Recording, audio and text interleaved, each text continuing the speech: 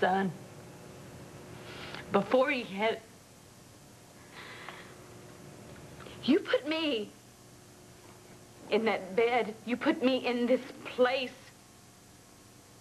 You've kept me apart from my daughter through the worst crisis of her life. And you think that I can forgive you. I'm so sorry, Blair. Kelly, for the rest of my life, every time I lay eyes on you. I know that. I know. I know, and I don't know how I'm going to make this right for you, Blair, but all I know is how sorry I am. You have got to oh, understand. Oh, please, I understand. Look, I understand. I understand. Fine.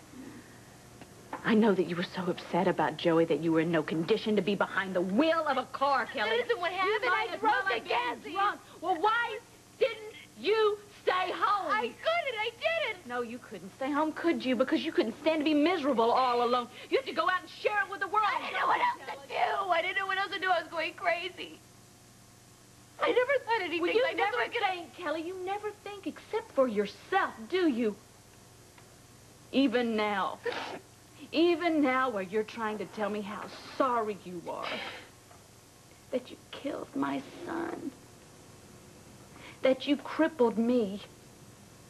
And put my daughter's future at risk. All you really want is absolution, just to make you feel better. Isn't that right, Kelly? don't, don't, please, just, you know, don't even. Don't you touch me, okay? Don't you ever touch me again. You just... You just go away from me.